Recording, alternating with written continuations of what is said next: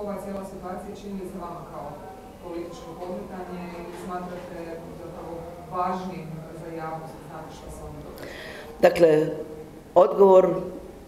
apsolutno je važno za javnost da znamo što se događa, ali ono što moramo znati da je Sveti Duh, Duh e, dugi niz godina, dakle to je gradska bolnica, dugi niz godina bio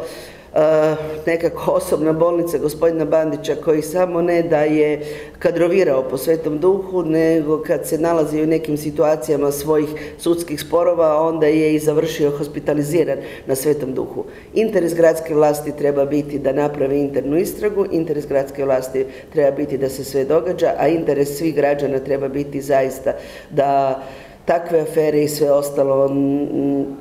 kad idu u javnost da zaista ih bude što manje jer za bilo koju bolnicu tako i za Sveti Duh to nije dobro. Interes gradskih vlasti bi trebao biti da Sveti Duh bude uzorna bolnica.